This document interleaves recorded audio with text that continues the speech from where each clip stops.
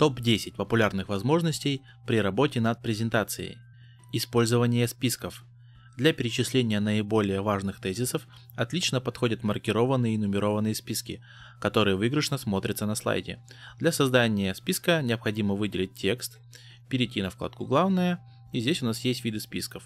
Здесь у нас есть маркированный список, можно выбрать тип маркированного списка, и как видите, текст у нас стал в виде списка. Давайте создадим нумерованный список. Также переходим в вкладку «Главное», но ищем пункт, где уже написано «Нумерованный список». Также можно выбрать один из предложенных вариантов нумерованного списка. Использование изображений. Помимо сухих тезисов для подкрепления своих мыслей, можно использовать изображения. В редакторе R7 вы можете добавлять картинки, хранящиеся в облаке, на компьютере или из интернета.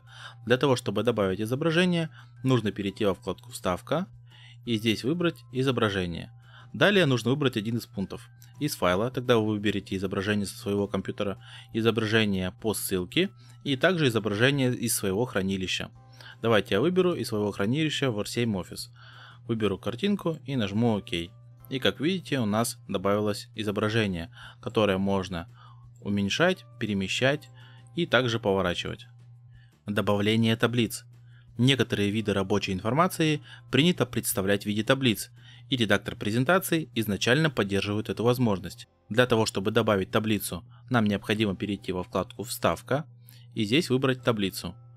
Здесь можно также выбрать с помощью макета, какого размера у вас будет таблица.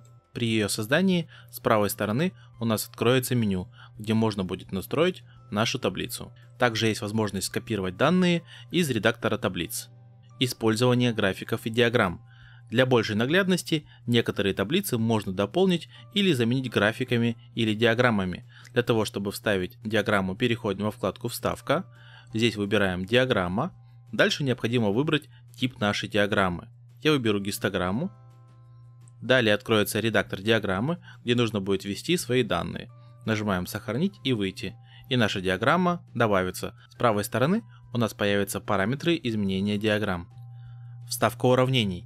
Для учебных и инженерных задач пригодится опция работы с уравнениями. Для того, чтобы добавить уравнение, нам необходимо перейти во вкладку «Вставка», здесь найти пункт «Уравнения».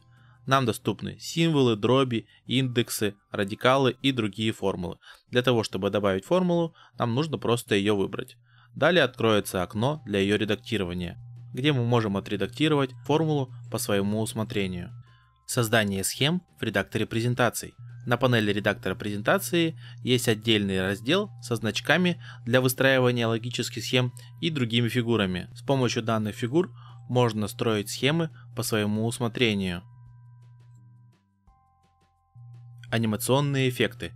К изображениям, графикам и фигурам на слайде слушатели привыкают, и иногда для привлечения внимания или акцента на чем-то можно анимировать отдельные объекты. Для этого предусмотрена отдельная вкладка анимации, на которой доступно несколько десятков эффектов. Для того, чтобы применить анимацию, необходимо выбрать объект, и сразу же в меню анимации будут доступны анимации, которые можно применить данному объекту. Выделяют несколько видов анимации – Зелеными отображаются анимации на вход, то есть как фигура появляется на слайде.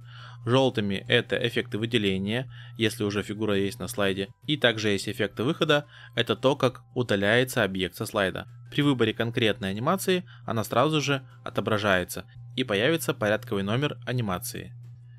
Переходы между слайдами. Тему анимации логично продолжает возможность разнообразить смену слайдов за счет добавления эффектов на вкладке «Переходы». На данный момент доступно 8 различных вариантов переходов, которые можно разнообразить за счет настроек.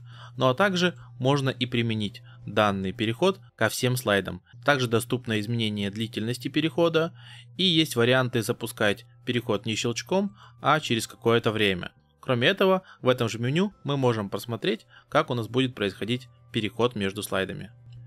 Определение цвета при заливке фигуры – для того, чтобы перейти в меню определения цвета, нам необходимо выбрать наш объект и в правом углу перейти в параметры фигуры. Здесь переходим в заливку и выбираем пользовательский цвет.